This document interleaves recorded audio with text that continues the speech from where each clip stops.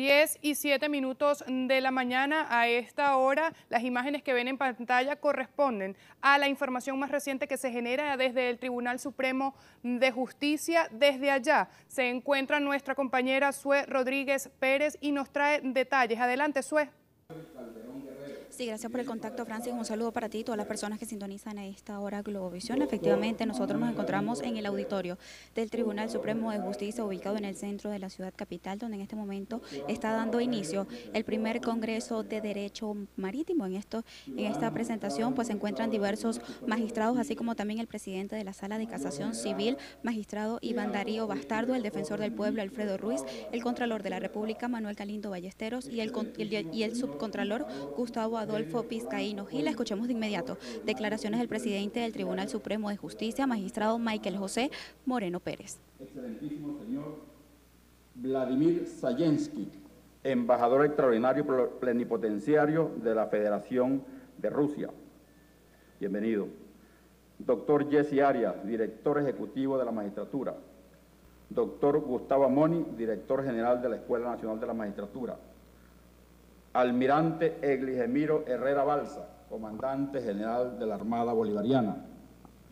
General de División Henry Timaure, presidente de la Corte Marcial. Bienvenido, hermano. General de División Edgar José Rojas Borges, fiscal general militar. Bienvenido. Comandantes de las diferentes regiones estratégicas de defensa integral, REDI, secretarias y secretarios de la sala, juezas de sustanciación de la sala político-administrativa del Tribunal Supremo de Justicia, ciudadanas y ciudadanos, juezas y jueces rectores de diferentes circuitos judiciales del país, ciudadanas y ciudadanos, jueces y juezas del Poder Judicial, economista Vladimir Fidarri, gerente general de Administración, representante de la Fuerza Armada Nacional Bolivariana, presidentes y representantes de institutos autónomos y empresas del Estado, rectores y directores de defensa de diferentes perdón, universidades e instituciones de educación superior, distinguidos cadetes de la Fuerza Armada Nacional Bolivariana, distinguidos ponentes y participantes del primer Congreso de Derecho Marítimo, representantes de los medios de comunicación social, invitados especiales, señoras y señores. En principio, debo felicitar la iniciativa de la Sala de Casación Civil del Tribunal Supremo de Justicia al abordar con la importancia que esto representa y la significante implicación de una rama del derecho que contradictoriamente a la realidad geopolítica de nuestro país no le hemos dado el tratamiento que requiere un tema de tanta trascendencia para la nación. El derecho marítimo prácticamente se encuentra asentado en la realidad económica, social y política de Venezuela. Este país, que cuenta con una de las costas marítimas más atractivas y bondadosas del continente, donde convergen el Atlántico en el oriente del país, el Pacífico por la región zuliana y todo el Mar Caribe, lo que nos hace tener una actividad una envidiable posición estratégica para, desarrollar cualquier tipo de actividad que requiera de nuestra salida del mar. Y es que nuestra posición geográfica se encuentra suficientemente provista de muchas ventajas, pero contar con una extensa zona costera también nos hace vulnerables en la difícil tarea de proteger nuestros espacios acuáticos e implementar un sistema que garantice condiciones recíprocas para las múltiples actividades que dependen del constante y creciente intercambio económico que realizan las naciones del mundo, utilizando el transporte marítimo.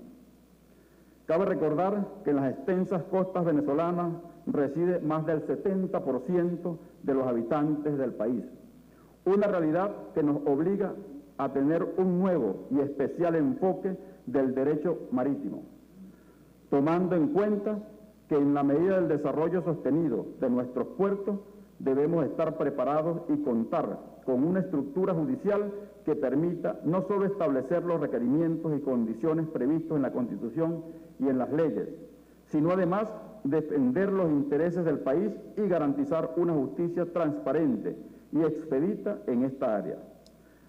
La actividad marítima representará en las próximas décadas un papel importante en el desarrollo económico de nuestro país. Pasaremos efectivamente de una economía de puerto pasiva a una verdadera economía activa, donde los puertos del país servirán para exportar la lenta pero creciente producción nacional, para así llegar a los mercados del mundo y generar, perdón, tan ansiada independencia económica que requiere nuestro país. Para desligarnos, por supuesto, de la renta petrolera. Es así que el rol que deberá cumplir el derecho marítimo para que, por un lado, se creen las condiciones legales necesarias para la buena práctica de dichas actividades y, por otro lado, garantizar la aplicación de esta rama del derecho que propenda al ejercicio y establecimiento de un sistema que implique la, la mayor celeridad en los procesos judiciales en esta materia, impidiendo así los estancados trámites burocráticos que sirven como caldo de cultivo para la corrupción administrativa y judicial. Pero evidentemente es necesario que el sistema de justicia, y en el caso concreto el Poder Judicial, desarrolle una verdadera campaña de conocimiento del derecho marítimo, no solo por el que representa el aspecto con el tema de la exportación o importación de productos, o en otro caso por la exportación del crudo petrolero, sino que además debemos avanzar en los temas imperantes en la realidad económica global. No existe hoy en día otra conexión económica con el mundo que no sea la vía marítima. Entonces, es nuestro deber adaptarnos a una realidad que requiere de la intervención del Poder Judicial para establecer los parámetros que permitan desarrollar la seguridad jurídica en la dedicada práctica del derecho marítimo. Es un deber como representante del Poder Judicial aportar y colaborar con el Estado venezolano para, para, garantizar las condiciones que permitan establecer un marco jurídico y un sistema de aplicación del derecho marítimo con la ineludible función de coadyuvar en los procesos legales y administrativos para así permitir el verdadero proceso dinámico que requiere dicha actividad. Ya hemos avanzado con algunas resoluciones que nos ha permitido descentralizar la competencia en, en materia de derecho marítimo.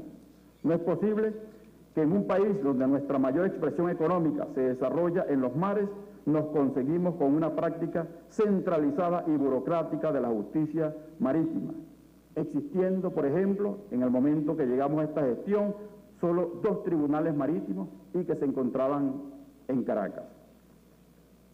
Hoy en día hemos dado un paso adelante en la descentralización de la justicia marítima, todo lo cual nos permite informar que sistemáticamente hemos designado jueces de primera instancia y superiores en los, principios, en los principales puertos marítimos del país, un ejemplo de la importancia que le hemos estado dando a esta materia y el reconocimiento a la trascendencia que tiene para el país. Pero aún nos queda mucho por hacer. Y en este encuentro, este encuentro lo saludo con admiración, porque nos permite expresar y recibir las críticas que nos darán las herramientas para seguir avanzando en este tema. La participación de todos ustedes será importante para conocer los aspectos más relevantes, así como las inquietudes que nazcan en el desarrollo de este Congreso con la intención de ir hacia adelante en el contexto de desarrollar un verdadero sistema judicial marítimo. Tenemos el deber de darle al país un sólido sistema jurídico de avanzada en materia de derecho marítimo. Los tiempos actuales, la necesidad que tiene el país de emprender nuevos horizontes, el respaldo a la producción nacional para la eventual exportación de productos, el desarrollo de los destinos turísticos en nuestras costas, islas y archipiélagos, así como la consecuente presencia para la defensa de nuestra soberanía en el extenso territorio marítimo que nos conecta con las fronteras de otros países. Son suficientes razones para desarrollar un sistema de justicia marítima adaptada a los requerimientos y estándares internacionales, para así garantizar el desarrollo sostenido de nuestras actividades económicas y la defensa integral de la nación. Ya para, para finalizar y considerando la tarea que está realizando la Asamblea Nacional Constituyente en la revisión de todos aquellos aspectos de relevancia para el desarrollo económico del país y para la defensa de nuestra soberanía, es importante que las ideas propuestas que se presenten en este Congreso podamos hacerlas llegar para su consecuente revisión por los constituyentistas. Muchas gracias a todos. escuchaban declaraciones del presidente del Tribunal Supremo de Justicia, Michael José Moreno Pérez, quien aseguraba que el objetivo de este primer Congreso de Derecho Marítimo es eh, proteger en todos los sentidos la producción nacional, tanto como la Bien, escuchábamos entonces declaraciones del presidente del Tribunal Supremo de Justicia, quien aseguraba que las propuestas que surjan de este Congreso de Derecho Marítimo serán evaluadas por la Asamblea Nacional Constituyente en los próximos días. Muy atentos a la información que se genere en este sentido y de esta manera a las 10 y 18 despedimos este avance informativo.